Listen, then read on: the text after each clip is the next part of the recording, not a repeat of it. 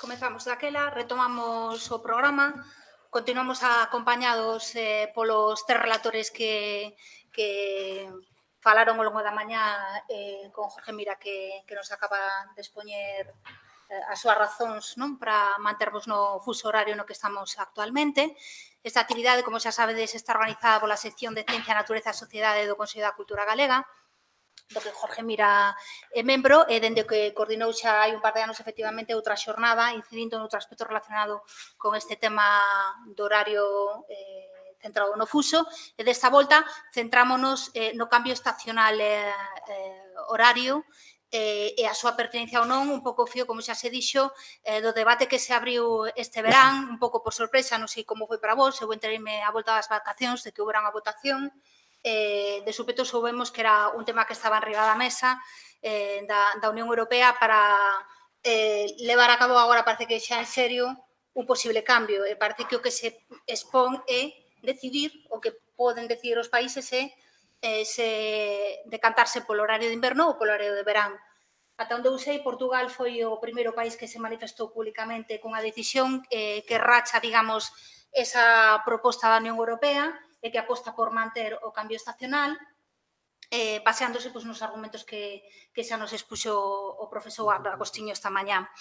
Eh, ben, eh, temos a mesa, como xa sabedes, eh, tres físicos, eh, tres persoas que proceden dunha ciencia moi exacta e moi pura. Como comentaba Jorge, mira, quizáis... eh, sería estupendo poder contar tamén con outras persoas dentro de outras áreas que, estaban, que eh, estiveron convidadas da, da socioloxía, da, da medicina, da, da, da bioloxía, que tamén poderían achegar outros argumentos ou consideracións para, para termos en conta, non? Para saber un poquinho mellor como nos afecta, como nos afecta eh, pois eses cambios horarios, aínda que quizáis o cambio horario máis drástico é o lunes cando soa o despertador cada sí, mañá, sí, sobre todo as outras vacacións. Ben.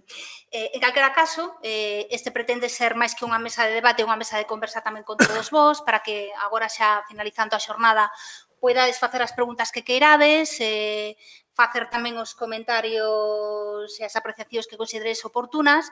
E quizáis para comezar eu quedeime coa curiosidade de aclarar un poquinho a postura do profesor Rui eh, con respecto a Galicia. Víamos onte na prensa eh, algún titular que comentaba que vostede apostaba, tendo en conta pois, que estamos na mesma liña, máis ou menos, eh, que para Galicia, deixando a marxe esas consideracións pois eh, sociais, non? de que pertencemos ao Estado español, eh, tendo en conta a posición que temos, que quizáis a mellor opción sería para Galicia, igual que para Portugal, eh, ese fuso horario que, por outra parte, eh, Jorge Mira pois eh, defende que, que nos quedemos como estamos. Eh, que, que, uh -huh. por que apostaría vostede para Galicia? Se vostede fose galego, eh, tivese que madrugar para ir traballar, levar os nenos á escola facer unha vida normal, por que se decantaría? Deixando a marxe un pouco esas cuestións, como decía, máis de costumes sociais. Ok. Galicia como país independente ou Galicia como Espanha? Claro, esa era, esa é era a pergunta. Que... Claro. Essa é a parte fundamental. Posso falar português? Não? Essa é a parte fundamental. Se Galícia fosse agora um país independente, claro que eu diria que deveria de ficar com o UTC. Para começar agora. Independente. E essa seria a solução. Mas a Galícia não é um país independente. Galícia está na Espanha. E tem uma história dentro de Espanha tem um regime de hora que é o regime de Espanha como um todo. E todas as comunicações internas da sociedade é da sociedade espanhola, não é da Galiza por si só, é da Espanha como um todo. E isso é muito importante. E isso é muito importante. É olhar para a Galiza como parte de um país grande e não como uma, um Estado independente. Podem dar o exemplo, ah, mas os Estados Unidos, como mostrou professor Jorge Mira, tem quatro fusos horários lá dentro. E tem quatro.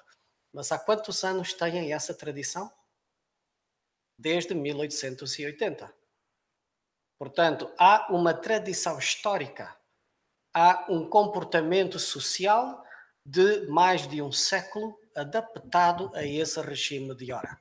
Uh, e aqui em Espanha temos é uma Galiza com 78 anos, de um regime social adaptado à hora UTC mais um.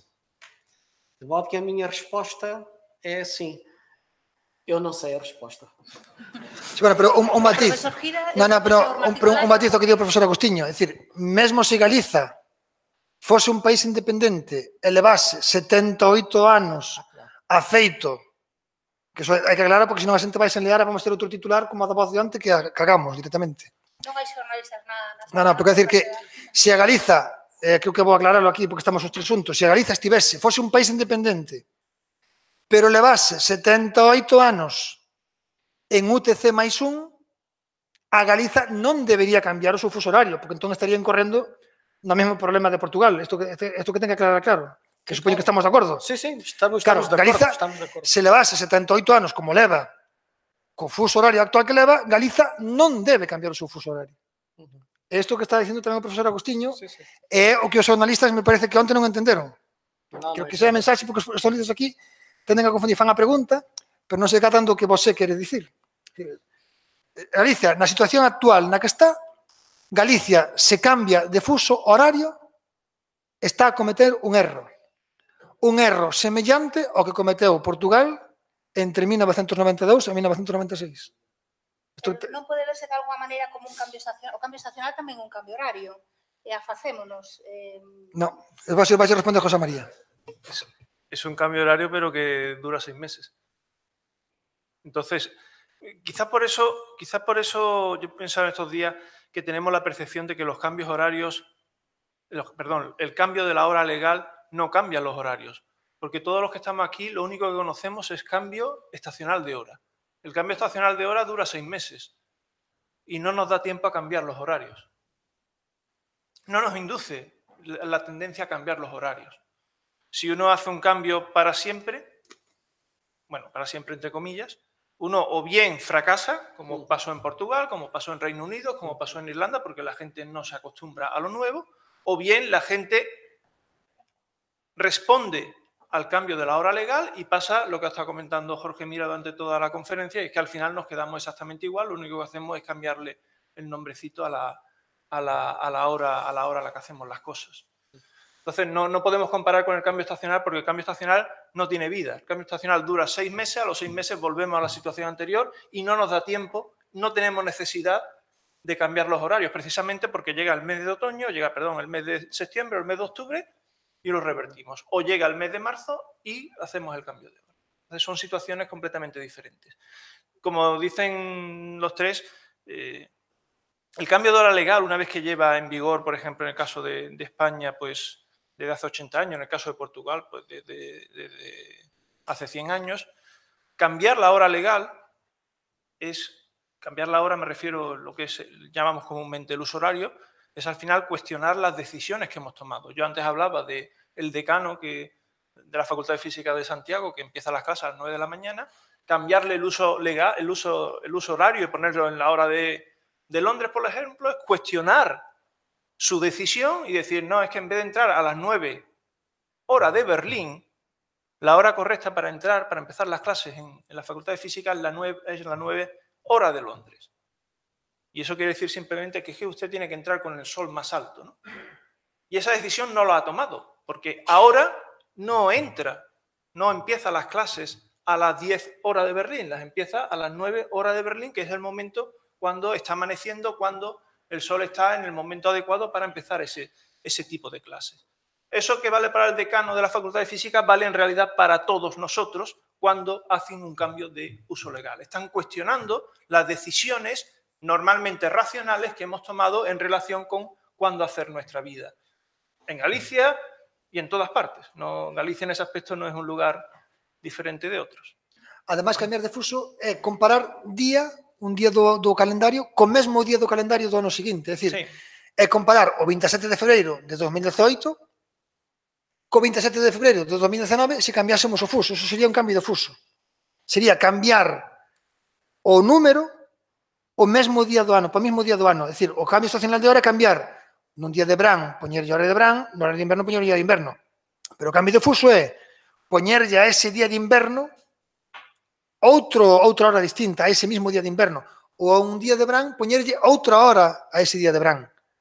Non, hai que ter cuidado, o cambio estacional de hora é un cambio estacional para cambiar, para adaptarse a ese cambio do sol, pero o cambio de fuso implica que o 27 de febreiro o sol se che estea poñendo ás 18.30 e facer que o sol se che poña o 27 de febreiro ás 17.30. Eso sería un cambio de fuso. En, eso non é o cambio, o cambio estacional de hora. O cambio estacional de hora é poñer en suño unha cousa Eh, en verán unha cousa, en inverno outra cousa. O cambio estacional de hora é poñer para o mesmo día do calendario unha situación diferente. Eso cambio de fuso. Por que credes que neste momento esta Unión Europea poñer eh, riba da mesa con tanta seriedade, non? Comentaba vostede que cada cinco uh -huh. anos é algo que, sí, sí. que se revisa, pero realmente ante a opinión pública, polo menos aquí en España, creo que é a primeira vez nos últimos anos que xorde ah, sí. con tanta seriedade, non? Uh eh, -huh. Eh, Cal é o detonante? Porque podemos entender que efectivamente Finlandia poira querer eh, outro tipo de horario, non? Parece razoable. Algún de, de vostedes comentaba esta mañá que se fose finlandés, pois igual tamén tamén optaría por polo que pide Finlandia. Pero que pasa para que a Unión Europea Pois o que pasa, no, bueno, o que pasa é que por primeira vez un país pogues un riba da mesa que é Finlandia, iso que pasa. Finlandia que é un país onde vive Papá Noel, que lle pedimos ora carta aos reis de, a Papá Noel, por certo, que este que este de barba blanca tal, non? Vive aí, é un sitio que se chama Rovaniemi, eh, que está no ciclo polar ártico, aí eles atén todo o pueblo sae del, casi, non? E aí pues, está no ciclo polar, entón aí pasa de ter basicamente seis mm, días, seis meses de 24 horas de, de día no solsticio de verán, a ter prácticamente 24 horas de noite no solsticio de inverno. Aos finlandeses dá igual cambiar a hora, polo tanto os finlandeses poñen eso enriba da mesa. Que pasa? Que o cambio que cambia aí agora? Pois o cambio, eu creo que é que na política europea está todo o mundo moi nervioso, Europa está nerviosa, toda a política europea está nerviosa, e cando aparece algún tipo de cousa extraña, a xente pode temblar e reacciona sin pensar. Co cal, decisións que antes se tomaban en base a comités técnicos, ahora fanse vía me gusta. E iso é un cambio de política perigosa. Eh? Pasar a esa vía de ir a unha cousa, a unha aplicación web, ou poñer unha, unha, unha web para que a xente vote e que sala o que sala. Eso é a maneira mala de facer as cousas. Portugal tamén o fixo por decisión eh, gubernamental. Mm. Eh, acaba co Silva, creo que non sei moi ben non, a, esa decisión. Lin, eh, que despois de que se volvera se repuxera, digamos, a situación anterior, uh -huh. descendeu o nivel de suicidios. Non sei ata que punto se estudou realmente as consecuencias sociais eh, en a saúde eh, do, da cidadanía portuguesa o impacto desa medida. Quizáis faltan estudos, comentábase tamén antes, non? De aí quizás o seu tempo e demais, pero quizáis falta uns estudos máis profundos, non? Sobre estas uh, cuestións de, estas disciplinas. Sim, em Portugal, 90, em 1992 até 1996, Portugal teve a hora UTC mais um, como a Galícia tem agora, e também com hora de verão. Também com hora de verão. Ao final desse, desse regime, foi uh, reunida a Comissão Permanente da Hora, que é a Comissão Consultiva para o Governo, que elaborou pareceres que vinham também do Ministério da Saúde, incluíam dados sobre uh, o consumo de ansiolíticos, uh, parte do tráfego, acidentes de automóvel, tinha também o problema uh, das escolas, do impacto negativo no horário dos alunos e os indicadores não eram favoráveis, eram maus. Essa, para além do grande descontentamento que as pessoas tinham. As pessoas sentiam-se mal com ter as manhãs, o sol a nascer perto das nove da manhã durante quatro meses do ano. Era muito tempo. Sim, houve problemas com isso. Isso foi colocado no relatório e foi a justificação para sair desse horário de, desse horário de uh, desse regime UTC mais um, ok? Mas hoje o que está na Europa não é essa discussão. Uh, a gênese dessa discussão na Europa é algo que tem surgido desde para aí 8, 10 anos. Já surgiu em 2013, uh, cinco anos atrás, em 2013, foi despoletado a mesma questão sobre o impacto negativo que a transição da hora tem na saúde humana. Quem estuda biorritmos e estuda o impacto no sono diz que há uma perturbação na nossa atividade diária porque a hora mudou. E cada vez mais tem aumentado esse fator social de transmitir a mensagem de que isso é muito negativo para o biorritmo. que pode haver consequências uh, prolongadas sobre o corpo humano de estarmos sujeitos a essa transição da hora. Entre parênteses, eu ter vindo aqui, mudei de uma hora e estou agora com a minha vida estragada, porque tenho uma hora a mais e já não consigo governar a minha vida. Ou as pessoas que vão das ilhas dos Açores para o continente em Portugal têm um câmbio de uma hora, também devem estar com a vida estragada, garantidamente, não é? É assim, esses estudos existem e têm sido o, o tema popular para levantar estes inquéritos. Está fortemente associado a isto. Em 2013, a Associação Francesa contra a Hora de Verão fez um grande movimento político em Estrasburgo para que não existisse hora de verão. É, mas as votações no Parlamento Europeu e no Conselho Europeu disseram que não. Os pareceres dos técnicos indicam que é melhor para o espaço europeu ter, manter a hora de verão. Passados cinco anos, novo relatório, novas avaliações. A grande novidade é, por um lado, por um lado, um país, a Finlândia, que pediu explicitamente que não queria ter hora de verão, que isso fosse analisado, e depois o inquérito popular que foi feito. E esse inquérito teve um impacto errado. Qual é o impacto errado? Eh, como disse, a maior parte das pessoas na Europa não sabiam que havia sequer o inquérito. Ninguém sabia. Alguém aqui votou? Eu. Ok, técnicos, estes são técnicos, não conta, vá.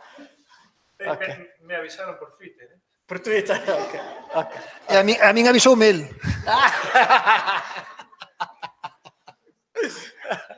Exatamente. E então o que aconteceu é que votaram 4,5 milhões de pessoas, dos quais 63%, 3,5 milhões da Alemanha, da Alemanha, e desse total, 87% disseram que não, não devia de haver hora de verão. E o que é que os jornalistas escreveram? 87% das pessoas da Europa não quer ter hora de verão. E em Portugal foi isso que aconteceu. 87% de todas as pessoas que vivem na Europa não querem ter hora de verão. Obviamente que isto foi explodiu. Explodiu. Foi novamente uh, uh, surgiram muitas opiniões da parte médica e da não médica. Em Portugal há muita gente que quer ter a hora UTC mais um por questões da economia. Acredita que basta Portugal ter a hora UTC mais um para estar na hora de Berlim e de repente a economia e a sociedade fica tudo bem. Acreditam nisso. E então a solução era Portugal ter a hora UTC mais um o ano inteiro. E esta votação era ouro era exatamente o que as pessoas queriam ouvir. E foi preciso desmontar isso. Eu tive que explicar aos jornalistas que aquele resultado do inquérito não pode ser interpretado dessa maneira. Não pode. Não se pode dizer que 87% das pessoas na Europa não querem ter hora de verão. E não pode porquê? Porque quem votou naquele inquérito foram pessoas que já não queriam ter hora de verão. Foi muito selecionado. Não foi uma amostra aleatória. E esse é o termo importante. Quando se eu quiser saber o que é que a Galiza pensa sobre a hora de verão, tem que fazer três coisas. Fazer um debate, ou muitos debates por todo o lado, em que explique o que é bom e o que é mau da hora de verão. Tenho que anunciar às pessoas que vai haver o voto no dia tal. Tem que dizer às pessoas que vão votar. Tem que convidar os partidos ou as pessoas interessadas para explicar às outras porque sim ou porque não. E depois, então, o inquérito tem representatividade de opinião. Isso não aconteceu agora. Portanto, em Portugal foi preciso explicar que não era 87% que não queria ter hora de verão. Isso foi preciso explicar. Ainda está a ser explicado. Uhum. porque as pessoas não entendem imediatamente, ok? E agora o que é que vai acontecer? Eu não sei, porque o debate é político. O debate está na Europa, não está em nós. Depende, mas quem, quem vota? Quem vota, o papel da comunicação social é fundamental. Ter a informação correta sobre o que é bom, positivo, e o que é mau, que é negativo. É importantíssimo, porque os cientistas só falam entre eles ou com duas ou três pessoas, tirando o Jorge, que fala com toda a gente. Pero que serían partidarios dunha enquisa mellor feita, eh, dunha decisión política adoptada pois eh, con informes eh, con, que se nutran de distintas fontes expertas. Eh, mm, no somos conscientes que tenemos una encuesta todos los años y es- todos los años hacemos el cambio de hora. Y ya lo he comentado en la conferencia, si la gente estuviese no, no estuviese a favor del cambio de hora, la gente lo que estaría haciendo es retrasar los horarios por la mañana a la hora de entrar al trabajo. El, el cambio de hora no es simplemente cambiar la hora. El cambio de hora, la utilidad que tiene es mantener la hora de entrada al trabajo constante durante todo el año. El hecho de que se mantenga, el hecho de que la sociedad no cambie, la gente no cambie, el, comerciante no abra una hora más tarde su negocio, las televisiones no empiecen sus programas una hora más tarde, el decano de la Facultad de Física de Santiago no empiece las clases una hora más tarde en los meses de primavera y de verano, indica que la sociedad acepta el cambio. Es una encuesta de que la sociedad está aceptando el cambio o que se está quejando, digamos, un poquito de, no sé cómo decirlo, ¿no? Pero sí, no nos quejamos mucho del cambio, pero después no predicamos con el ejemplo, no retrasamos nuestros hábitos por la mañana en los meses de abril, de mayo, de junio. ¿Por qué? Pues porque nos viene bien adelantar esos hábitos, decir, adelantar, ajustarnos a la hora del amanecer para después tener ocio vespertino. Ese es un tipo de encuesta que no es fácil de entender en el medio político, que están acostumbrados a la encuesta inmediata, al like, como dice, como dice Jorge, al like de- del- Facebook o al like del Twitter. Pero estamos haciendo permanentemente, estamos haciendo la 40 años en, España y en la mayor parte de, de Europa continental, en Portugal y en Reino Unido y en Estados Unidos lo llevan haciendo 100 años. Y no les pasa nada. Entran tamén as preferencias persoais, non? Pode haber xente que prefira ese ocio vespertino e Por xente que prefira entrar eh, máis no traballo contra o mencer, Por supuesto. ir camiñar o traballo de día Por supuesto, noche. por supuesto, pero el, el cambio de hora de verano fomenta, ya digo, que eh, la entrada al trabajo sea a la misma hora, pero por la tarde no dice nada. Y uno puede apreciar horarios vespertinos que cambian en verano, se hacen más tardíos. Por ejemplo, yo tengo el ejemplo en Sevilla, un comerciante en Sevilla en verano abre la tienda más tarde, porque por efecto del cambio de hora necesita abrir la tienda más tarde porque si no sería a la hora de la mayor insolación, de mayor calor, no se va a encontrar nadie en la calle y abre más tarde. Es decir, ese tipo de respuestas sí está en la sociedad, pero respuestas de gente que quiera retrasar la hora de entrada al trabajo por la mañana, no hay. Yo me he encontrado, que yo recuerde, un caso únicamente que era, un caso curioso, creo que me acuerdo bien, era un horario de misa en, creo que en Alba de Tormes, que ponía horario de misa, vamos a decir, a las 10 de la mañana de eh, noviembre a, marzo y a las 11 de abril a, a, a octubre, ¿no? Es el único caso que me he encontrado en estos últimos años que estoy un poco pendiente de estas cosas, ¿no? Salvo eso, en ningún caso me he encontrado un, un horario de por la mañana que se retrase en los meses de verano. Y si hubiera gente que quisiera hacer eso de una forma o de otra, se manifestaría en algún tipo de, de cosa. Es decir, claro, no todo el mundo puede hacer eso, a lo mejor un funcionario no puede hacer eso. Pero sí hay actividad económica, hay comercios, hay, hay mucha actividad económica que sí depende de ese tipo de decisiones personales y no aparecen ni en las encuestas de uso de tiempo, ni por las calles las puedo yo ver eh, en el día a día. ¿no?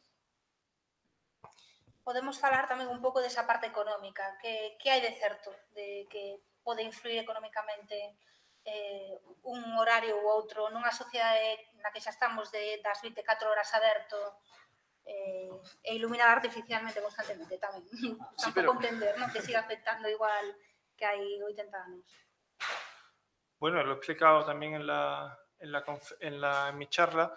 El problema económico es difícil de cuantificar no es un problema, yo entiendo que no es el problema del ahorro energético no es lo principal, es un problema de ver cómo es el PIB de una sociedad con cambio estacional de hora como es ahora, o sin cambio estacional y manteniendo los horarios estables durante todo el año, y ese tipo de medida no se ha hecho, no sé si se puede hacer, no sé si se puede modelizar, a ver si con un poco de suerte puede haber algún tipo de modelización de esa, de esa naturaleza, pero yo no conozco ningún análisis de ese tipo.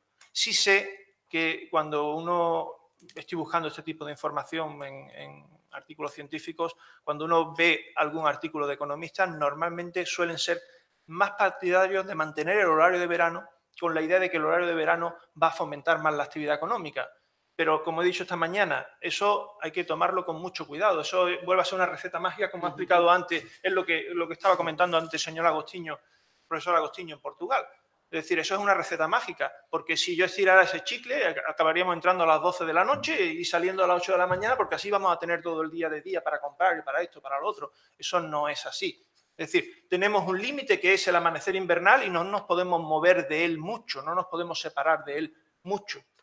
Entonces, la idea esa económica de que yo, adelantando el uso, voy a fomentar la, la actividad económica, hay que cogerla con mucho cuidado porque lo más normal es que no podamos resistir fisiológicamente ese tipo de adelanto, que es lo que pasó en Portugal, lo que pasó en Reino Unido, lo que pasó en Irlanda, lo que ha pasado en Chile. En Chile han hecho el mismo, el mismo invento, duró un año. Un año duró el invento, es decir, yo voy a mantener la hora de verano en invierno, duró un año. Y, no, no es fácil, es muy, es muy fácil ponerlo así en plan, somos, seremos capaces y va a, ser, va a ser bueno para la economía, pero después del dicho al hecho, hay, hay, hay, hai un trecho. Sobre o forro enerxético, eh, quen fai a conta é o IDAE, Instituto para a Diversificación ah, e Orden de Energía. Eh, claro, danche o número, dinche, aforrase un tanto como a, con dúas cifras decimais. E o IDAE fai esa conta como unha mera estimación. E cando comparan consumos enerxéticos, comparan dúas semanas antes do cambio de hora e dúas, dúas semanas despois do cambio de hora, cando a Terra está en situación equinocial, é realmente aí o comido polo servido. O que está pendente é ver cal sería o impacto, o experimento sería, de repente, coller o país, e, en pleno bran, de repente movelo a hora de inverno, eso sí, un experimento imposible de facer, pero ese sería o experimento real. E o impacto aí sí que sería grande. Eh. Con todo, Esa é unha das grandes incógnitas que hai sobre isto. O único, a única referencia que hai sobre o impacto económico é o da forro de enerxía, que para mí, dende logo, non é a principal fundamento. É o benestar das persoas e eu creo que hai bastante incidencia no ritmo de gasto das persoas. Pero agora que me solía a profesora María Loureiro, que é a catedrática de Económicas máis emerxente de Galicia, non? Eh, que ten un índice H estratosférico, que está salido no libro de Yolanda, de grandes científicas galegas, pois eh, ao mellor dentro duns días oides falar dela máis de nós por unha cousa que ainda non está anunciada. Pero hai moito traballo pendente aí eh, na análise, na análise do impacto económico. Non sei como son as deliberacións da Comisión eh, de Estudo dos Horarios Oficiais, son como as deliberacións do Consello de Ministros. Se podes contarnos non, son como, como as, son como as do Consello de Ministros e hai confidencialidade. Acordamos manter a confidencialidade do que ali se discuta. En calquera caso, é unha comisión cousa composición un pode ver porque está na página web da Moncloa. E veredes como está confeccionada. E que augurades que pode pasar a nivel europeo? Pensades que vai continuar ese debate? Paco Lodeiro. Paco Lodeiro. Para que xente no micro, Paco. Non hai experiencia, falaba desde as experiencias, e falaba José María que non hai cambio de horario na mañán, non? Agora que non se, non se observan cambios de horario. A miña pregunta é, antes de existir cambio estacional, é dicir, cando tiñamos o mesmo horario todo o día, eu por conversas que teño máis con cos meus pais e, e demais que por experiencia propia, contanme que probablemente en casi todos os negocios, en moitas institucións, sí había un cambio. Claro. É dicir, que non había o cambio de hora eh, eh, que se establece por lei, digamos, o cambio estacional, pero que se facía entón era que os comerciantes tiñan un horario de verán e outro de inverno que máis ou menos se corresponde co cambio actual, non? Claro. Entón está, é dicir, que probablemente mm, pois o, o non facer o cambio estacional pasaría co mesmo de meterse nun GMT erróneo, non? Todo o mundo acabaría igual. El, cambio de hora, El cambio de horario es la forma moderna que tenemos de hacer modernamente ahora eso que se hacía antiguamente, que era que cada uno cambiaba sus horarios, digamos, no a lo loco, pero sí. sí Pero ese dato sí se pode saber, non? É dicir, eh, Hombre. facer un estudio sociolóxico, é dicir, cando non había cambio horario, pois probablemente os comercios das, di- das diferentes cidades cambiaban todos o horario. A ver, es difícil, pero hay evidencias, ¿no? Yo esta mañana he presentado una evidencia, por ejemplo, que es el reglamento de las Cortes de Cádiz de 1810. ¿eh? Y hay y me- y una, y una normativa del trabajo, de la regulación del trabajo en mujeres y niños de 1900. Y, son, y no es que haya hecho una búsqueda exhaustiva, son simplemente ejemplos que me he encontrado en la vida. Es decir, el reglamento de las Cortes de Cádiz me lo encontré porque vi un tuit de las taquígrafas del Congreso que ponían, este es el reglamento de las Cortes de Cádiz. Entré a verlo y me encontré en el artículo primero y digo, hostias, esto es un cambio de hora. Y lo de, del reglamento de mujeres y niños, eso sí fue una pequeña búsqueda que estuve haciendo y me encontré, vi eso, era para otra cosa, era para el tema del uso horario, y me encontré el reglamento, digo, esto están haciendo un cambio de hora.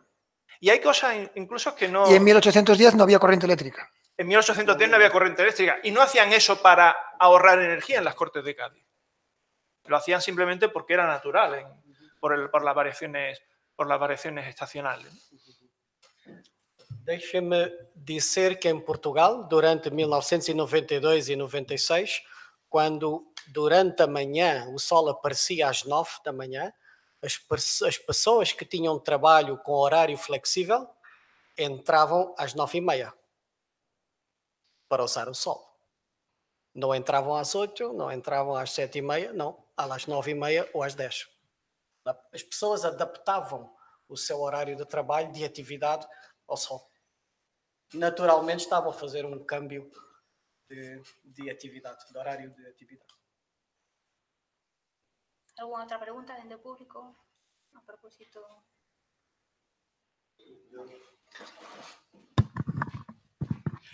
Ola, eh, eu ven, vin aquí, lóxicamente, para, para informarme, non tiña unha opinión eh, estabilizada. Eh, agora mesmo non sei se si esta experiencia é a favor ou en contra do que decides, eh, sobre todo aí Jorge, o meu amigo Jorge, acabo de vir de Italia, onde teño un fillo vivindo en Pisa, eh, estuve lá cinco días, Eh, vamos a ver, eu que xubilado non me levanto menos das entre 9 e 10, ali levantábame antes eh, e tamén sentía fam, eh, ganas de cear ás 8 da tarde, cousa que aquí non, non fao menos das 10, non? Eh, isto non é, non, está, non é a favor de que o corpo se adapta tamén aos horarios eh, máis ou menos rapidamente, porque eu nun par de días pois, eh, tiña máis ganas de levantarme antes das nove e tamén de, de cear ou xantar a unha ou de cear as, as oito da tarde, non? En cambio, aquí xa digo, menos das dez, nada. Hombre, pues... yo no sé, busca, busca, yo mientras digo, no soy experto en este tipo de cosas, pero para un cambio de, entre España e Italia, que es de una hora, pues yo esperaría que en un día uno tuviese ya un poco el cuerpo hecho a, a donde está, ¿no? No es, si no he entendido mal la observación, con, con un día estaría uno hecho más o menos a- al, al lugar donde ha ido, ¿no? Claro, claro, eso, un día, ¿no? Es, no es, es- una hora. Vamos, no lo digo yo, a veces también se dice en círculos fisiológicos que para un jet lag de, de una hora uno necesita un día, para un jet lag de dos horas necesita uno dos días, porque aunque no haya cambiado el reloj, sí ha viajado 15 grados hacia el este y por lo tanto tiene un jet lag de una hora, aunque el reloj no le haya cambiado, y eso se adapta a uno en un día. Pero é normal, ti mira, de Pisa a Costa da Morte, eh, pois, claro, eh, hai, hai un fuso e pico, hai un fuso e pico, un fuso e pico. E te fíxate, dicías que as oito da lo, non? Pois as oito da lo veñen sendo como as nove e media da Costa da Morte, solarmente. Entón ti estás facendo solarmente o mesmo que facías na túa casa de Baio. Eh, en Baio, as nove e media, solarmente, ten que ser parecido, salvo matices, a unha hora parecida ás oito e pico de Italia. Entón o teu corpo está che protestando para cear a mesma hora que faz en Baio. Porque ti ali marcas as oito, a ti o horroroso marcas as oito, pero ti pensa no que poñía aquí. Eh? As oito, as 22, as 21.15 de, de Masterchef Italia é o mesmo que as 22.15 en, en Madrid. Por tanto, o teu corpo está seguindo o ritmo que ten que seguir. Eh, perdón, aprovecho eso. É verdad que, que tenemos mm, esa cosa y además lo, que cuenta es, es perfecto. Es decir, uno va a Italia y uno debe adaptarse a la vida que hacen allí. Es decir, allí cenan correctamente a la hora que tienen que cenar y nosotros cenamos aquí correctamente a la hora que tenemos que cenar. O uno se adapta a eso, ¿no? No- Debe adaptarse a eso naturalmente. O sea, esa imagen de, digamos, vamos a decir un poco mítica del español que llega a Italia o que llega a Londres y dice quiere comer a las 3 de la tarde o quiere cenar a las 9 de la noche, pues claro, es un poco tan absurdo como el extranjero que llega a España y que pretende cenar, comer a las 12 de la mañana o pretende cenar a las, a las 7 de la tarde, ¿no? Es decir, hombre, él está tratando de mantener sus costumbres, pero claro, está llegando, está mm, llegando con un calzador a un sitio que está... Donde fueres, haz lo que vieres. Exactamente. Sí, la- la- los que cenan mal, los que cenan mal aquí Son no los son, guiris. son, son- son los extranjeros, no son los españoles, ¿no? Eso no es. Pero bueno, si ceamos, digo, as así médicas, que sí que ceamos moi en riba, non? Da hora de irnos eh, para cá. No, mira, mira, mira, mira Bueno, pero eh. Teamos, igual que os italianos, aquí tes o gráficas de José María. sí, sí, pero de- Ah, sí, sí, sí, sí, tú. No, eh, a ver, ahí hay una, sí es verdad que puede haber algunas diferencias y es el hecho de que cuanto estás más al sur puede, digamos, retrasar más la vida porque el amanecer se hace más, el anochecer, perdón, se hace más tarde, pero después va a amanecer antes, es decir, uno tiene menos margen eh, a nuestra latitud, uno tiene menos margen por la parte, digamos, de la noche y uno tiene más margen durante el mediodía, ¿no? Antes ponía el ejemplo de que en Suecia se cena a las 6 de la tarde, ¿no? Claro, a las 6 de la tarde se cena y le queda un tiempo para hacer vida y después se acostará más tarde. Nosotros cenamos más tarde y nos cenamos más cerca de la hora de, digamos, de acostarse. Pero bueno, eso tiene que ver con que tenemos, nos sincronizamos por de una forma por la mañana, que es a lo largo del amanecer, de otra forma por la tarde, que es a lo largo del atardecer, y esos son tendencias contrarias, y hay dos cambios, uno es a mediodía y otro es a medianoche. Bueno, a medianoche no la vive nadie, está uno durmiendo, ¿no? Se vive más o menos por la noche. Y las diferencias son a la hora del mediodía, pues el hecho de que uno pueda tener aquí más sobremesa que en países más nórdicos, porque allí se le viene la noche encima y uno no puede tener sobremesa ahí después de, después de comer. Y aquí en la parte de lo que es la tarde-noche, pues uno allí puede tener, en países más nórdicos, uno puede tener, comillas, más sobremesa de cena, uno puede estar de cena y después tiene vida, mientras que aquí uno ya la cena es en la última parte de lo que es el día, ¿no? Pero eso ya digo que es que es, eh, está un poco obligado por el hecho de que la sincronización por la mañana y la sincronización por la tarde son contrarias. Uno va con el amanecer y la otra va con el, con el Bueno, pode anochecer. ter que ver tamén co, co, co feito de que en España abonda máis a xornada partida, non, laboral, que quizás aí non me quero meter no, no leiro da eh, no, no, no, no, pero, pero está ben porque ten que ver pero, con amplitud, con amplitud que tes de día. Mm, claro, sí. eh, eu creo que tamén cando se fala de calidade de vida falase das horas que dispós en bloque para facer algo, non é o mesmo traballar oito horas partidas, sí. eso sabe sí. moi ben a xente de traballar no comercio, na hostelería, sí. eh, que ti poder sair ás cinco da tarde e ter ainda sí. que sexan as mesmas horas de ocio, de tempo libre, para cuidados persoais, eh, concentradas. non? Hablamos, hablamos, non ver co abrimos, fuso, abrimos, abrimos otro non melón. ten que ver nin co fuso, nin co... No, no, no, pero sí tiene que ver con las condiciones, pero sí tiene que ver con las condiciones ambientales, o puede tener que ver con las condiciones ambientales, pero es verdad que es abrir otro melón y que es otro melón grande, ¿no? Eh, el tema de la jornada, el tema de la jornada partida. Sí, evidentemente en España se ha hecho durante mucho tiempo una jornada partida con un descanso de dos horas, de tres horas y media, perdón, de dos horas, tres horas para almorzar, en parte porque se puede hacer. Está, está puesta la gráfica esta, mira. Mm, esta bueno, gráfica. pero eso... La tengo puesta.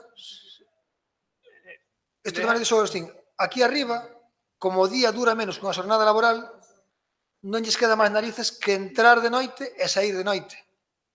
A amplitude do día que ten un español permítelle ter a jornada laboral para empezar, permite diferentes soluciones, ¿no? Y la restricción, lo que yo he observado en la encuesta de empleo del tiempo, la restricción es que uno no vuelve al trabajo de noche.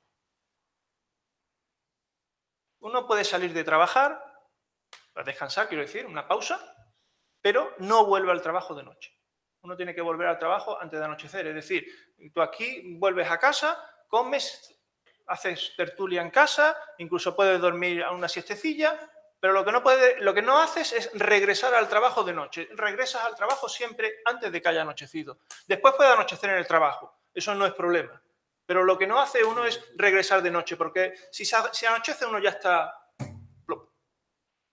Claro, en la latitud de España eso tiene más juego. Y efectivamente permite esa jornada partida que permite regresar a casa a comer, permite comer en casa, permite tener un ámbito en casa que también es conciliador y soy consciente de que eso es más favorable, por ejemplo, en ciudades pequeñas que en ciudades grandes, es decir, a lo mejor en Madrid, en Barcelona, en una ciudad grande, a lo mejor eso es más complicado, pero es más fácil en otro tipo de ciudades.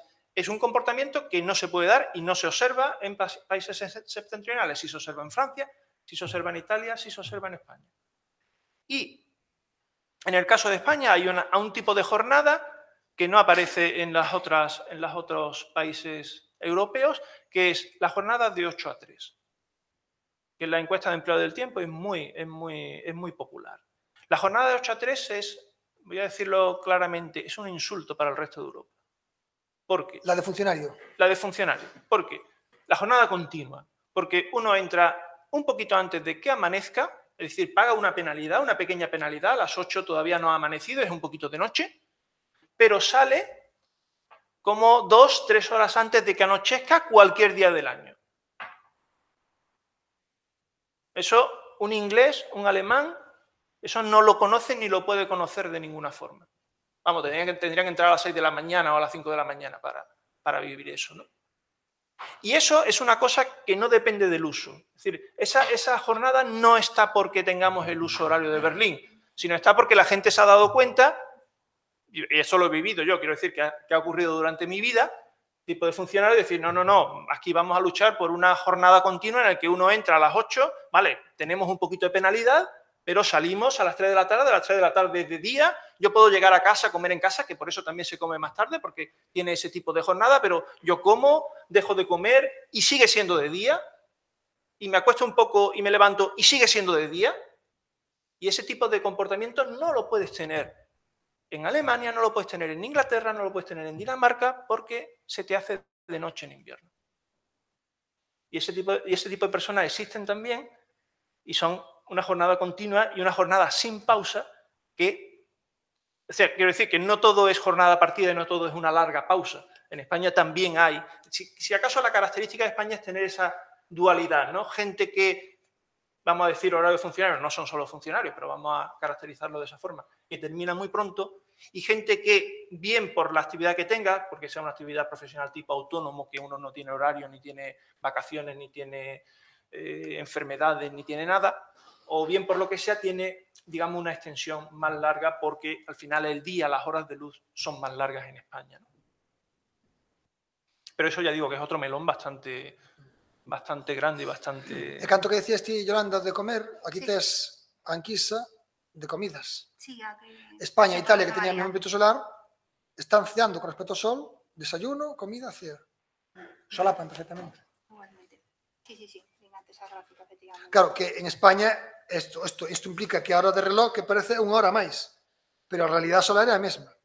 Uh -huh. E as horas de sono mm, tamén eran as horas de sono son as mesmas. similares en toda Europa. ¿No? En Ita- España e Italia. Con Alemania tamén, ¿no? Con Alemania Bueno, era- con, no, con Alemania lo que coincidía era es la, el ritmo de, de sueño y cuidados personales. Eh, hay, hay, cosas, hay cosas que no dependen de la latitud ¿eh? y hay coincidencias. O sea, también lo voy a decir sinceramente. eh, estas gráficas, digamos, son las más coincidentes. Tú puedes tener países con los que no tengas tanta coincidencia, pero eh, yo no estoy tratando de argumentar nada en concreto sobre los horarios españoles, excepto que no son raros. Es decir, uno tiene coincidencias con Italia, uno tiene coincidencias con Alemania, uno tiene coincidencias con Francia. Por ejemplo, la cosa de la televisión tiene coincidencias con casi todos los países, salvo con Francia, salvo con Francia y con Bélgica, salvo con Francia y con Bélgica, con el resto de países no tiene una coincidencia bastante grande. ¿no? E esa cifra que se puña de 9 horas e pico, suma das horas de sono de cuidados Cuidados. Sí, sí, sí, sí, sí, pero de todas maneras la, la encuesta Etus tiene también publicadas las, las horas de sueño y, y las horas de sueño en España no son, son comparables a las del resto de Europa, es decir, no, la- las de las encuestas ETUS son comparables a las del resto de Europa. se refirse a higiene... Eh, higiene, higiene, ah, y vestirse, vestirse. Dormimos sete horas e pico, vale, que me Eh, lo- no, no, no, no, no, en la encuesta ETUS, somos todos, en la somos encuesta ETUS la- el dato que sale son ocho horas y media, pero es una encuesta sobre población general y es una encuesta en día cualquiera, es decir, no, si yo lo he hecho sobre trabajadores en día laborable, sobre trabajadores en día laborable sale creo que sobre siete horas y media, si mal no recuerdo. Sí, sí es verdad que el caso español es un caso peculiar en el caso del, del sueño, porque los españoles hacen una vigilia fragmentada. ¿Y qué es una vigilia fragmentada? Pues una vigilia fragmentada es un nombre que se me acaba de ocurrir para llamar a la siesta. ¿eh? Es decir, hay gente, no todo el mundo, evidentemente, pero ese piquito de la. Ahí se ve, ¿no? Se ve ahí. Esta, además, esta no sé si es de ETUS o de, o de encuestas de. Esta es de encuestas de empleo y esto es, creo que trabajadores. Creo que es trabajadores, es que no- creo que es trabajadores, creo que esto es trabajadores, pero no estoy seguro. Eh, no duerme la siesta todo el mundo, pero eh, creo que era un 15%, es que no, no recuerdo exactamente los números, pero bueno, no, no, no duerme la siesta todo el mundo, pero ese, ese bultito que aparece ahí, que es la siesta, eso representa, si mal no recuerdo, entre 15 y 20 minutos diarios para el cómputo de España. Un promedio de 15 a 20 minutos diarios por persona para el cómputo, para el cómputo de España. ¿no? Y eso, evidentemente, hay que tenerlo en cuenta, hay que computarlo como horas de sueño. Lo digo porque si uno mete la hora de acostarse y la hora de levantarse, a lo mejor se encuentra con cosas raras. Eh, Uno de los factores que influye en que hacer esa resta, que creo que es lo que hacen algunas personas, hacer esa resta, a- a, digamos, a lo bruto, es decir, coger una hora de sueño, una hora de despertarse, la resto y así me salen la, perdón, una hora de acostarse, una hora de levantarse, la resto y así me salen la hora de sueño. Hay varios problemas en España. Uno es la siesta, y otro es, si se fijan ahí, cómo suben esas curvas y cómo bajan. En cada país pueden ser diferentes y eso también influye en el numerito. Las horas de sueño en realidad es el área que se ve ahí. La cosa que está sombreada, todo lo que está sombreado, es el cómputo de horas de sueño de un país y cuando uno hace eso, que es la forma, digamos, correcta de hacerlo, en el caso de España salen siete horas y media. Mm, Irlanda y Dinamarca daban valores menores, Estados Unidos daba valores parecidos, Italia daban valores parecidos, y los que sí era un poquito diferente era el de Gran Bretaña, que eran 20 minutos más que en España aproximadamente, como de media. Pero estamos hablando de eso, de 10, 20 minutos, que es una cosa importante, pero que no es una hora, ¿no? que es lo que, es lo que ha trascendido a los medios de comunicación, que era una hora de diferencia entre, entre España e o resto de Europa. ¿no? Volvendo á cuestión do cambio estacional, cal augurades que pode ser a postura dos demais países membros da Unión Europea e a postura dominante? Non sei se tendes ocasión de falar con compañeiros, eh, se pode ser que outros estados membros tamén aposten por dicir nos queremos manternos como estamos, cantos optarían polo horario de brau, cantos polo horario de inverno? Não estou a par do que é que os outros países estão a fazer. Sei que um colega da Polónia, do lado da astronomia, também está a tentar convencer o governo de que é importante ter hora de verão, porque o povo acredita que se mantiver a hora de verão o ano inteiro, ah, no inverno vai ser muito melhor. E ele diz as pessoas não sabem o que é que estão a fazer. Portanto, o problema não é só Portugal, Espanha, eh, atravessa a Europa inteira, mas existe uma mentalidade dominante de que é mau para a saúde ter o câmbio horário. Isso é uma ideia que tem sido vendida às pessoas. E o que o Schroeder, o Schroeder não, o que o Juncker fez foi seguir uma decisão política. Tem que ver o inquérito europeu como uma questão política. Apesar de não ser representativo da ideia ou da opinião média na, na Europa, a questão é que politicamente são 4 milhões e meio de pessoas, dos quais 3.500, 3,5 milhões são alemães e o Juncker é alemão. Politicamente é um caso forte, tem que ser analisado. Portanto, eu acho que isto vai dar muito debate interno na Europa, vai mesmo dar muito debate, não terá uma solução simples, a solução intermédia é dizer vamos atrasar a decisão. Vamos atrasar porquê? Porque a diretiva europeia da hora é válida até 2021. E então aí é que é necessário ter uma nova decisão. E é, isso permite até 2021 debater e chegar a uma decisão qualquer. Se por acaso existir uma decisão antes, e havia, havia pressão do Juncker uh, para ser feita uma decisão até março, porque termina a direção da. Quem é, qual é o país que está agora? Uh, Áustria. É a Áustria que tem agora, né? vai entrar outro. Ele também vai sair, o Juncker também vai sair, e ele queria ter isso resolvido, atendendo a que foram 3,5 milhões de, de alemães a votar aquilo. Mas o resto dos países disse não, não há uma decisão tomada, precisamos de tempo e a saída elegante é dizer a diretiva é válida até 2021, temos tempo para ir decidindo, ir falando sobre isto.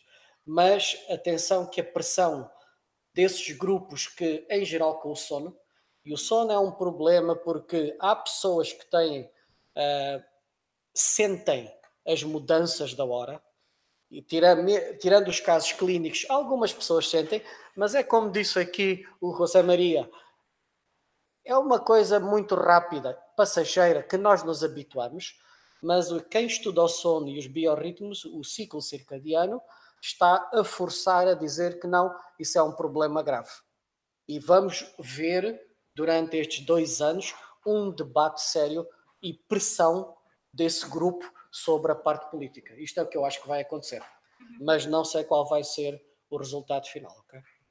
Yo de, de, lo que, de lo que he oído de los países, los que han tomado una decisión, o parece que han tomado una decisión, me ha parecido bastante razonable. Conozco el caso de Finlandia, que dice que ellos quieren no tener cambio estacional y quedarse con la hora de invierno, y parece una cosa razonable en Finlandia. Conozco el caso de Portugal, que la decisión que tiene es perfectamente razonable, que es el statu quo, quedarse como está, que es algo perfectamente razonable para, para Portugal. Y todo lo demás, creo que, creo que Polonia también, como había comentado, había decidido o quería el gobierno polaco quedarse con la hora de verano. En Alemania parece que también se quieren quedar con la hora de verano. Ese tipo de, ese tipo de políticas, viendo lo, digo viendo las encuestas de, empleo del tiempo, ¿eh? lo digo viendo los datos que tengo, antes estaba tratando de buscarlo en el ordenador, pero no los encuentro rápidamente. Uno puede ver que esa opción de decir me voy a quedar con la hora de verano en invierno, en países como Alemania, como Polonia, va a ser complicada de, manejar. O puedo prever que va a ser complicada de manejar. ¿Por qué? Pues porque ya ya han adelantado los horarios y han adelantado los horarios, entre otras cosas, para poder salir de día en invierno. Cuando te anochece, cuando tu día es corto y te anochece pronto, una respuesta es tratar de empezar lo antes posible, más de noche incluso que aquí, para decir, por lo menos, salgo de día. Porque esto es contrario a, la, teoría circadiana, es contrario al ritmo fisiológico que dice, tú te tienes que activar con el amanecer. sí, sí, yo me tengo que activar con el amanecer, pero yo también quiero vivir. Entonces, tratan de ajustarse, adelantar la, entrada al trabajo para poder salir de día. Es lo que ha hecho también en Chile la región de Magallanes ahora. Se ha quedado con el horario de verano porque dice, hombre, yo así por lo menos puedo salir de día. Sí, sí, ya sé que los niños van a ir de noche al colegio, pero por lo menos van a salir de día, van a tener algo de vida. Bueno, eso en Magallanes lo han hecho con el cambio de uso, pero en Alemania, en Polonia, en Suecia también, en países ya de ese tipo nórdico, no en Inglaterra, no en Irlanda, eso ya lo han hecho de forma habitual con sus horarios, tratar de empezar lo antes posible para poder salir de día. Si a eso le añades la machada de decir, me voy a quedar con la hora de verano en invierno, ya te vas a ir probablemente mucho antes del amanecer en invierno y muy probablemente lo van a pagar lo van a pagar como lo ha pagado Rusia. Ah, Rusia ha hecho lo mismo en 2011. En 2011 hizo lo mismo. Dice, me voy a quedar con el horario de verano en invierno. Duró tres años. Claro, eso no quiere decir que, no, que vaya a pasar lo mismo en Polonia o en Alemania, pero es posible que también pase eso. Es posible que entremos en un rango, en un periodo de inestabilidad en comparación con algo que es muy estable en la comunidad europea, como es la hora de invierno, que lleva 80 años prácticamente sin cambiarse, salvo el ejemplo de Portugal, el ejemplo de, de Reino Unido y de Irlanda. Entonces, es un negocio que es un poco aventurado, ¿no? Es para, para entrar en un, en un, nivel de aventura un poquito, un poquito raro, ¿no? Eh, sobre todo isto, sobre a parte política, unha cosa que sinalou tamén o profesor Agostiño, este é un momento óptimo, bueno, ainda que é unha desfeita andar promovendo abrindo esta caixa dos tronos. Si que hai unha cousa semiboa que, que coincide co Brexit, e tal como comentaba os, eh, o profesor Agostiño, o cambio estacional, digamos, a saída do horario de verán para o horario de inverno, témolo en outubro por arrastre da influencia británica, que é un cambio de unha volta ao horario de inverno que é un mes máis tarde do que debería ser. Os amosaron as gráficas os dos pola mañán que che din que o punto máis bo para facer esa volta ao horario de inverno é a finais de setembro. Ahora que os británicos se van, era o momento de corrixir iso.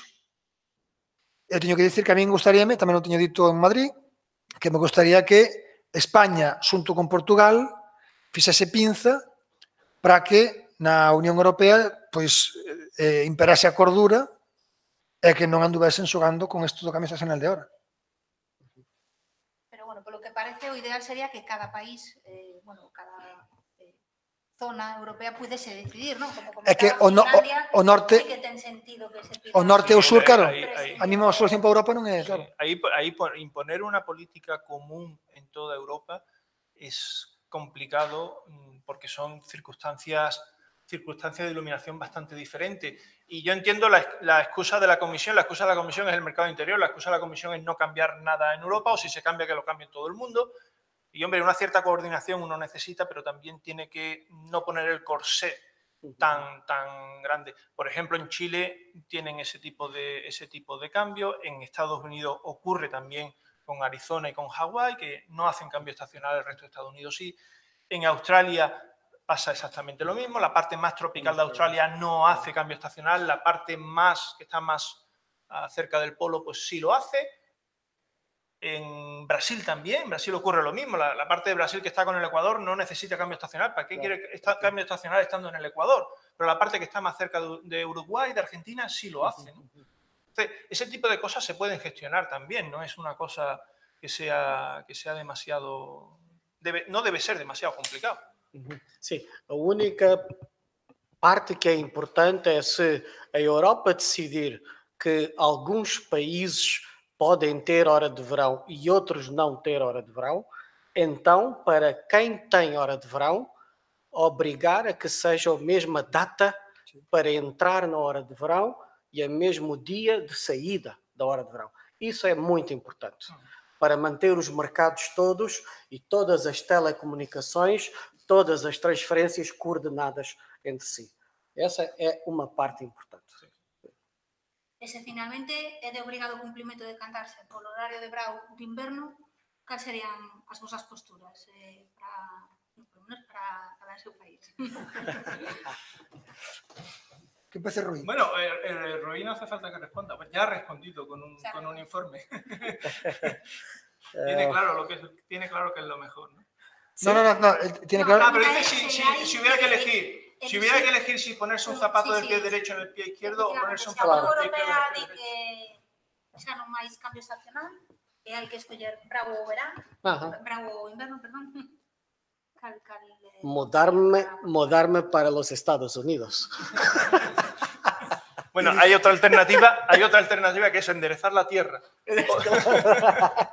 Mucho más fácil. Mucho más. Eh. Yo, yo, yo, yo, yo esa, me hacen esa pregunta cada, cada poco y procuro responder, pro, procuro escabullirme siempre. No quiero responder a esa pregunta, no me gusta responder a esa pregunta, entre otras cosas porque hay gente que cree que porque yo haya estudiado esto tengo más razón o tengo más motivo. Al final, todo el mundo, o sea, al final todo depende del presidente del gobierno o de Juncker o de lo que sea. ¿no? Uh -huh. Sí tengo, sí puedo decir una cosa y sí me gusta decir una cosa. Si nos quedamos con la hora de invierno, en verano yo puedo responder a eso. Si nos quedamos con la hora de invierno en verano, yo puedo decir yo voy antes a trabajar.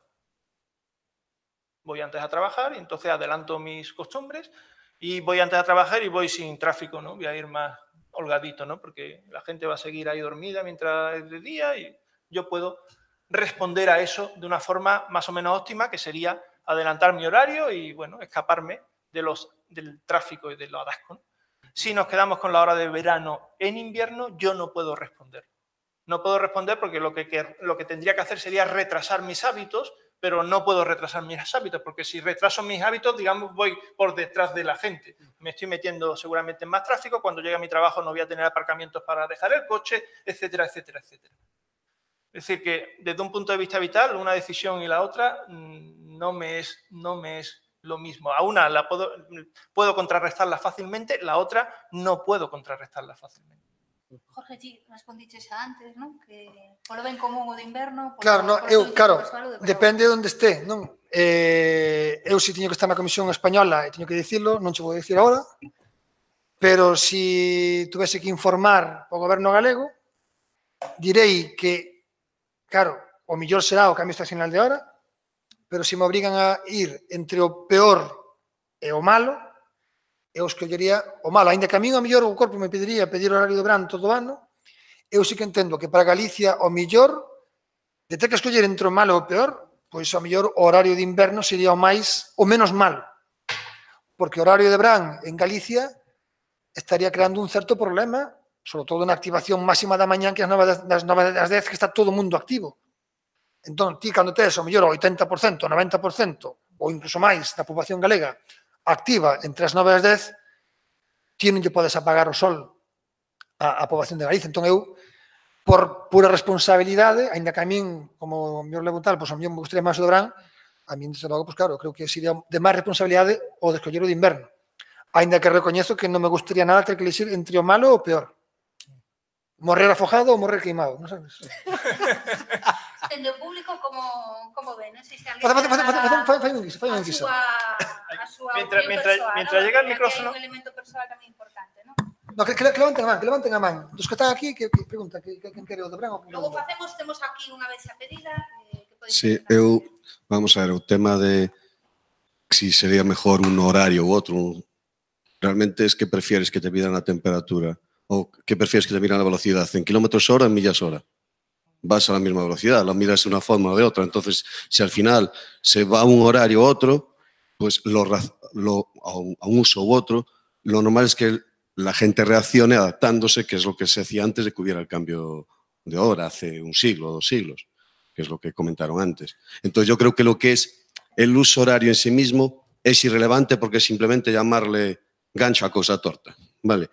Pues es una cuestión simplemente, llámale uno a lo, a lo que son las dos o llámale dos a lo que son las tres, pero no tiene mayor importancia. Lo que sí tiene importancia es el tener dos eh, horarios a lo largo del año, es el cambio estacional. Y el cambio estacional no es un capricho, es por culpa que la Tierra es como es. Sí. Y claro, la Unión Europea, en fin, siempre con políticos si es- que están, cuanto más lejos están de la, del- de la Tierra, y en el caso de la Unión Europea están más lejos que el gobierno nacional, más lejos que el autonómico, más lejos que el local, pues igual creen que haciendo ese cambio el sol va a reaccionar y se va a poner de acuerdo, cosa que dudo. Yo lo que creo es que si al final se utiliza, se va a un solo horario, y teniendo en cuenta que el año va a seguir igual a nivel, en fin, eh, El sol no va a cambiar. lo que va a provocar es que al final la gente va a tener que hacer correcciones. Entonces, ¿qué es mejor? Que haya una corrección organizada, y mejor en septiembre, por lo que hablábamos del Brexit, que haya una corrección organizada a nivel general, o que todo el mundo se tenga que poner a corregir. Pues tenemos otra alternativa. Ya que no podemos cambiar el sol, hagamos una cosa, cambiemos y que en verano se trabaje en 12 horas y en invierno solo se trabaje en 4. Claro, para adaptar las horas de trabajo a las horas solares. Ey, en el campo se hacía. ¿eh? Hay, una cosa con eso, es que el, hombre no tiene esa capacidad realmente. Es decir, el hombre es una especie tropical, nació en el trópico donde no hay estaciones y ha migrado hacia los polos. Y en Finlandia le gustaría eso mucho, pero en Finlandia no pueden hacer eso. No pueden, no pueden trabajar nada más que cuatro horas en invierno y en verano aprovechar y trabajar 16 horas. ¿no? No, pueden, no pueden levantarse en verano cuando amanece y acostarse cuando anochece porque son muchas horas. Y en invierno no pueden hacer, no pueden hacer eso mismo, no pueden hibernar como los osos, digamos. ¿no? Y eso es, eso es una de las limitaciones que tenemos y es una parte bastante importante del problema y a la que eh, hay que hacer unos estudios fisiológicos bastante interesantes, ¿no? Y cómo se ha adaptado el hombre al hecho de vivir en latitudes más extremas donde el día dura mucho o donde el día dura poco. No es un problema trivial, digamos, no es fácil. Não. Para Portugal, ahm, se fosse necessário escolher um horário ou outro, ah, aquele que é o menos mal, menos mau, é a hora de inverno. Portanto, ter a hora de inverno durante o ano inteiro é, é melhor. É melhor porquê? Porque a parte negativa está no verão. Mas não é um negativo tão grande assim.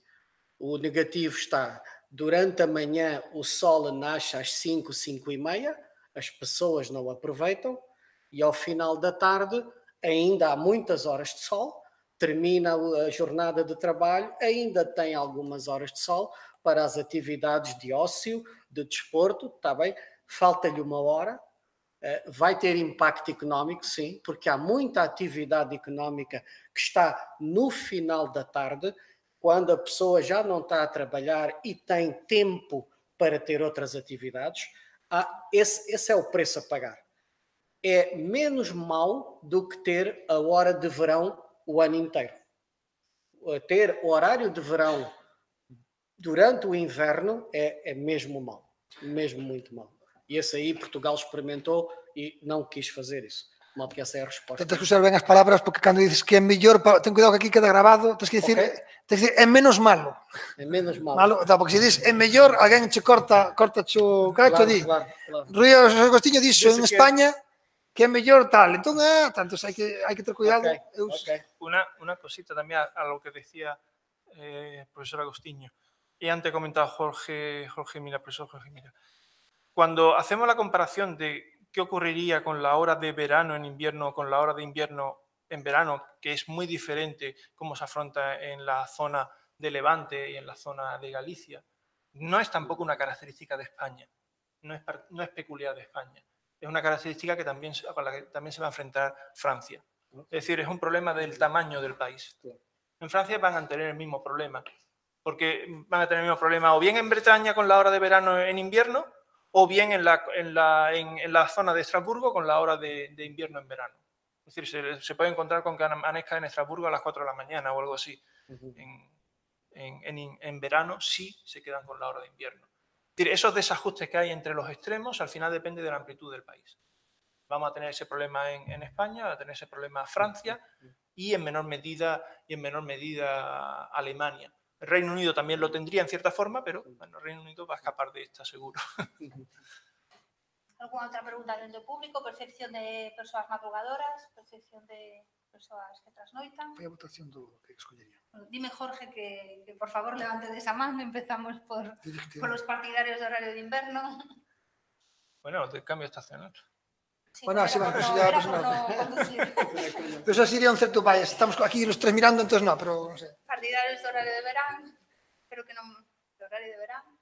Eh, temos dúas persoas partidarias do horario de verán que, que se manifestasen, eh, partidarias de mantermolo cambio estacional, Para eso xa está. Pero Catro persoas temos un 90 e pico por cento non sabe o contesta. Creo que nos pasa como Unión Europea. Sí, exactamente, Europea. Rigorosa. Moi ben, se queredes engadir algo máis, eh, tanto dende por parte dos relatores como dende o público, senón creo que hasta as horas xa da noite, solar, Claro. Seguimos falando sí, de sí, tarde sí, serán, no hai pero... outra cosa que la noite solar. Realmente xa... Sí. sí. É unha cousa que Unha cousa que eh, que non non oín que se mencionara, non en todo o día, que é mm, falase sempre do na cuestión da das horas de luz, eh, hai un elemento moi importante que a nos non nos afecta tanto que é a cuestión do clima. É dicir, eu estou pensando, porque viví en Mongolia, realmente o problema non é tanto a luz como o cambio extremo de temperaturas. É a percepción que teño un pouquiño é que pasa algo similar, por exemplo, en Finlandia. Non é tanto perdón, a luz como que realmente a actividade ten que, ten que modificarse. E hai actividades que teñen que, de feito, paralizarse. Non? Por exemplo, a construcción, eh, porque son temperaturas tan extremas que, por exemplo, na China, o que se falou na China, é que non se pode hormigonar, por exemplo, non? só porque non se mencionou algo. ¿Puedo, ¿Puedo responder? Sí, eh, eh, lleva razón. En cierta forma lleva razón. Lo único que pasa es que esas cosas, por ejemplo, de Finlandia están relacionadas también con la luz. Es decir, el hecho de que haga frío en invierno en Finlandia está relacionada con que hay pocas horas de luz. Y después, por otra parte, eh, uno, uno tiene que, lo que hacemos los físicos al final es simplificar el problema. Y, y lo estamos parametrizando por, por cosas que los podemos relacionar fácilmente con los paralelos como por ejemplo las horas de luz en verano, las horas de luz en invierno, a qué hora amanece, a qué hora anochece, etcétera, etcétera, que condicionan la actividad humana. Claro, si uno va a analizar el problema de una forma más fina, más detallada, pues se va a encontrar probablemente con diferencias con la temperatura.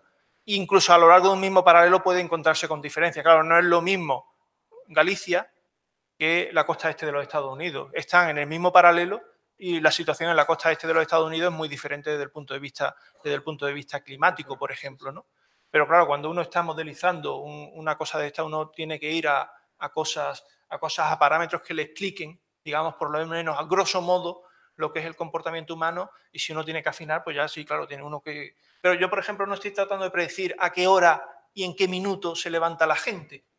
No se trata de eso, sino se trata de tener una idea global de más o menos, y ese más o menos es un punto muy gordo cuando se inicia la actividad, cuando se inicia la actividad humana, cuando deja de haber actividad humana. Pero, claro, evidentemente hay otros factores, temperatura, por ejemplo, que, que influyen en, en eso. que determinante, cuidado, demasiado, cuestión climática luz. Central, Sí, sí, sí. máis determinante o cambio extremo de temperaturas que horas de luz. Si no, si no, no se lo niego. Lo que pasa es que es más difícil de parametrizar ese tipo, ese tipo de cosas. Hay un ejemplo, por ejemplo, Arizona, que es, una, es, una, es un estado de Estados Unidos que no hace cambio, cambio de verano, pero es un estado, por ejemplo, que, es, eh, que no tiene mar. O está cerrado, está en un desierto, tiene un clima muy diferente, por ejemplo, del que es en España. Una latitud no muy diferente, está un poquito más al sur, pero sí tiene unas condiciones climáticas que son bastante diferentes. Para empezar, es un, es un- es estado que está cerrado, es decir, no hay, no hay mar por ninguna parte, no te puedes dar un paseo por la orilla. ¿Eh? Y eso es importante, hombre, sí es importante, porque allí hay un desierto, hace mucho calor, no tienes ganas de salir a pasear de ninguna forma, ninguna hora del día, y es diferente de estar en un país como España, como la península ibérica, en el que tiene el litoral por todas partes.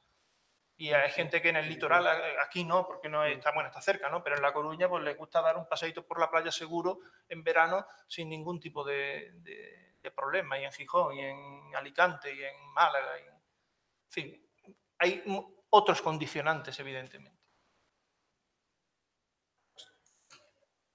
¿Alguna outra pregunta? Eh, ben, pois se non hai máis cuestións, imos pechar esta xornada que, como dixemos, está organizada pola sección de Ciencia Sociedade de Natureza do Consello da Cultura Galega. Como é habitual, eh, este relatorio, se, aparte de poder eh, seguirse en directo por streaming dende a canal de YouTube do Consello, van quedar pendurados na páxina web e convidamos vos a que a nivel de quen queira a, a que, que, o, que os poida verse en caso de que non poderan estar por aquí. Sen máis, pechamos a xornada, damos as grazas a José María Martín Olalla, a Rui Sorsi Agostiño e a Jorge Mira. Eh, ata a próxima. Moitas grazas.